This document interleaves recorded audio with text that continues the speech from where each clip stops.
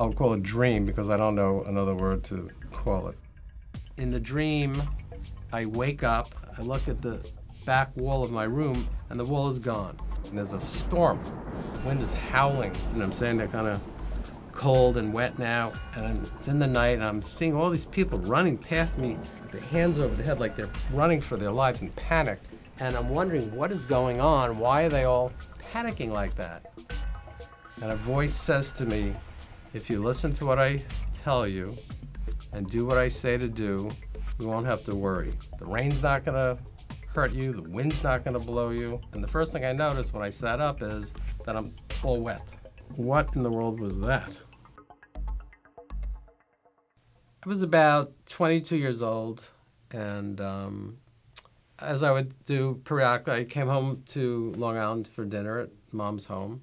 As soon as dinner was over, my mother gets this kind of weird look on her face, like something uncomfortable is going on. You know, I have something really important that I want to tell you all. Uh, it's very difficult for me to say, and, and I know you're going to think I'm crazy. And we're like leaning on the edge of our chairs. Couldn't imagine what was going to come out. And she tells us that she now believes in Jesus.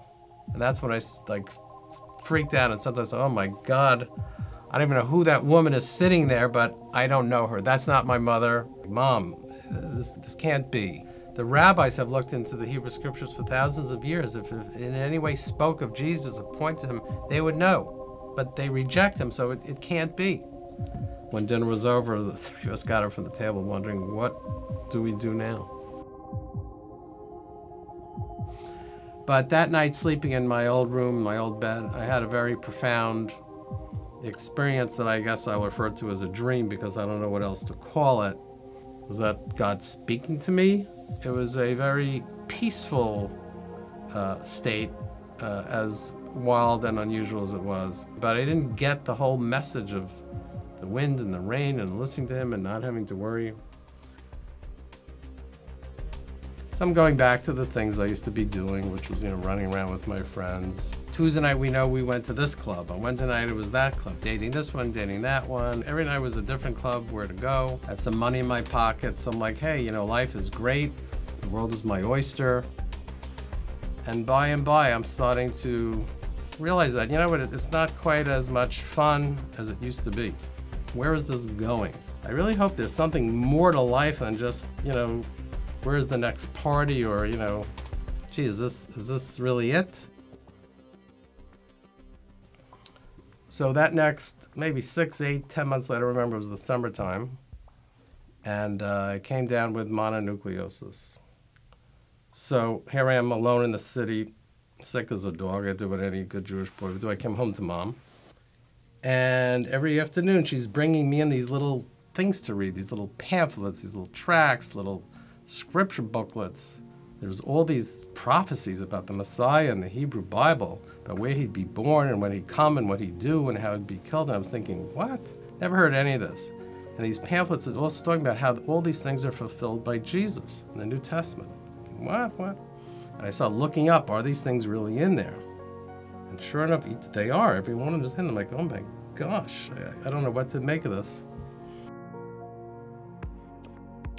My mother says to me, hey, guess what? I met a uh, Jewish rabbi and he's a believer in Jesus. And we started attending the Bible study every Tuesday. And now, for the first time ever, I'm meeting other Jewish believers in Jesus like myself. My whole lifestyle that I was used to was now over running out, going to parties, dating. What was I going to do? So I began to pray for the first time and one of the things I was praying for was, God, you need to really show me that this faith in Jesus is real because look at all I've given up, being ostracized, and life is crazy now. And I'm reading a story in there, and it's Jesus speaking. He says, Therefore, everyone who hears these words of mine and acts upon them may be compared to a wise man who built his house upon the rock. And the rain descended, and the floods came, and the winds blew and burst against the house, and yet it did not fall, for it had been founded on the rock. And those words like jumped out at me because I realized that was exactly my dream that I had 17 years earlier. If you listen to what I say and do what I tell you to do, you won't have to worry.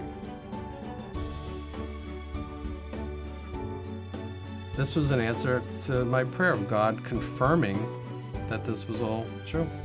Really, I guess for the first time, a real peace started to enter my life that I finally have focused my attention on something real.